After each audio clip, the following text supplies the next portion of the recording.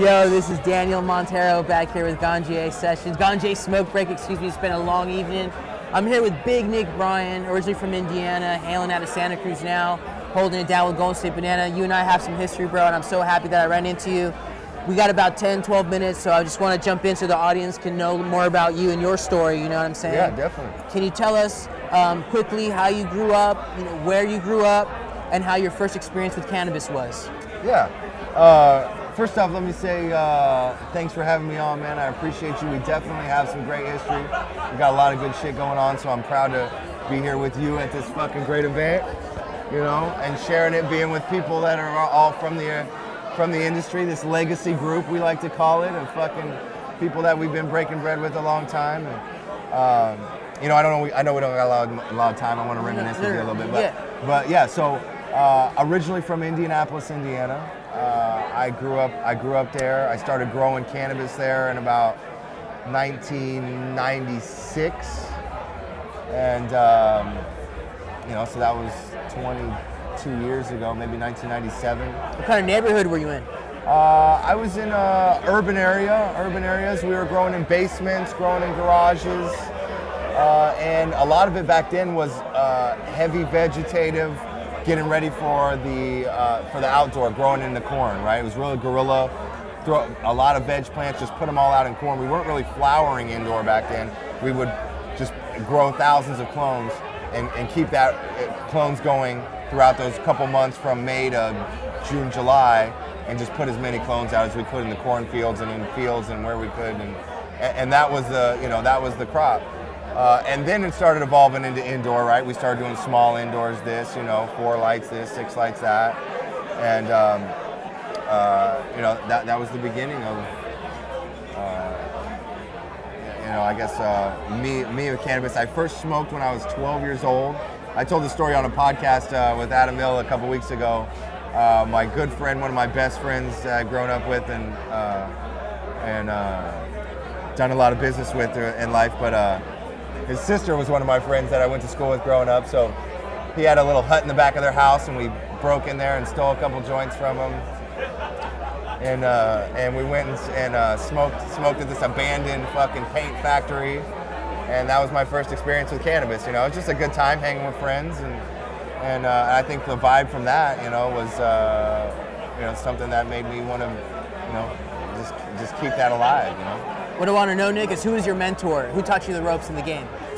Uh, I mean, there's a lot of mentors I have over the years, uh, but I think, uh, I mean, that's a difficult question. Like I said, a lot of mentors, a lot of people I look up to. Your pops? Uh, yeah, definitely my father. I, I you know, I uh, I eat lunch with my dad still a lot, you know, frequently, and just asking him questions and talking about politics from the 70s when they were trying to legalize things and uh, you know the evolution of where we gotten to now. So that's definitely yeah, definitely a big mentor. But you know, a lot of these cats in the cannabis industry well, coming up and and just seeing everybody being brave. You dropped your smile. right on, bro. Got him. Got him. We're just on camera real quick, my man. Appreciate you. Nick, You know how it is. and you know, I remember you talking about your pop when we were talk- when we would have our conversations, you know, hooking up over the hill. History. And what I'm saying is, uh, what, what is one of what are one of the lessons, one of the main lessons that he uh, taught you that you still hold dear to you today? That helps you do business. Uh, I mean, I think especially in business, uh, one of the one of the key things he always says, man, and I say this to a lot of my friends, especially as we've been evolving in this industry right now. Pigs get fat, hogs get slaughtered.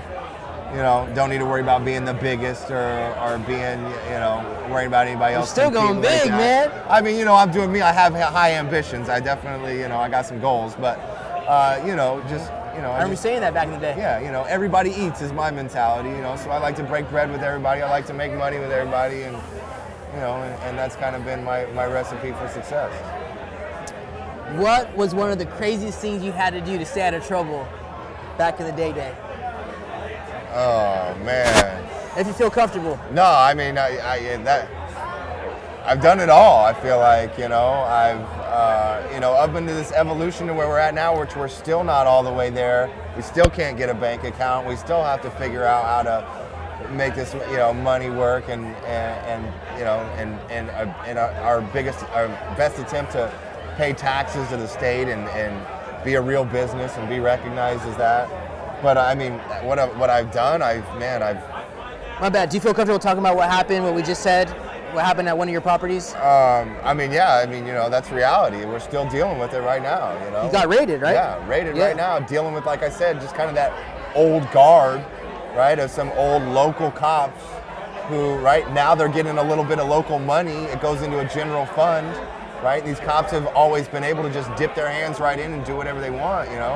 And there's still a couple there who are just trying to run, you know, do, you know, treat this as like the old, that old school way, you know. And Can you share with the audience a situation? I'm sorry, just because of the time limit. yeah, sure. Um, a situation that you had to bounce back from.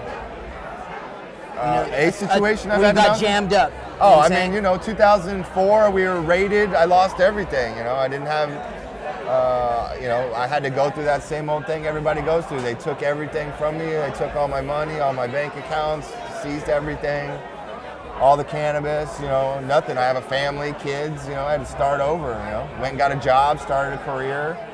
You know, and I feel like you know, I tell a lot of people that story. That that opened the door to me being able to step out once I was successful in that career and say I am a taxpayer and this is something I believe in and I do want to push this forward.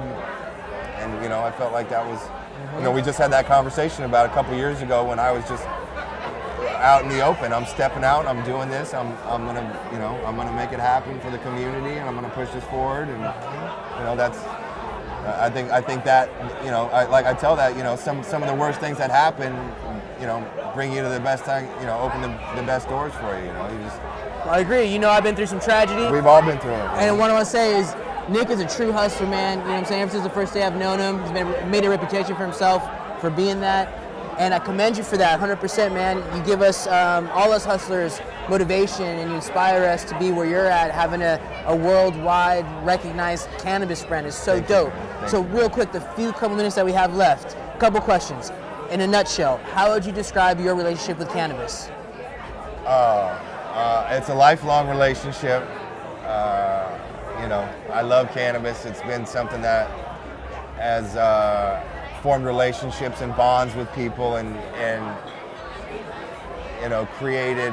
Uh, I feel like uh, broke down barriers with family through religion, with, with just just this evolution of this plant and where we what we've done what we've done with it. It's uh, it's my life. You know? it's, it's everything for me. I live it. I dream it. I sleep it. I you know there isn't anything else for me. So that's my relationship.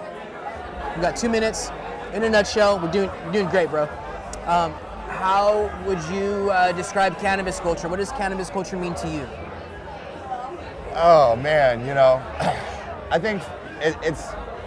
I love cannabis culture, and, and these questions we talk about.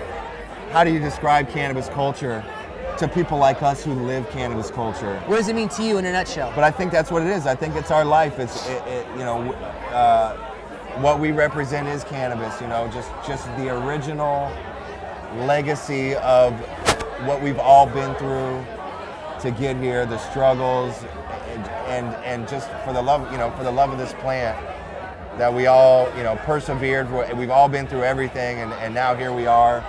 You know, again, I, you know, eh, we're still going through it. We're still not there, but every day it gets better. Every day we're getting closer, and we're evolving to, you know, something I think we're, we're all proud of. You know. And Nick, in a couple sentences, where do you envision yourself three to five years from now, and your brand? Oh, you know, I my ambitions are big. You know, one of the biggest cannabis brands in the world. I want to be everywhere. I want to provide this, you know, my can, my brand and, and the cannabis that I can cultivate to everywhere, every corner of the earth. So hopefully, three to five years, we're there.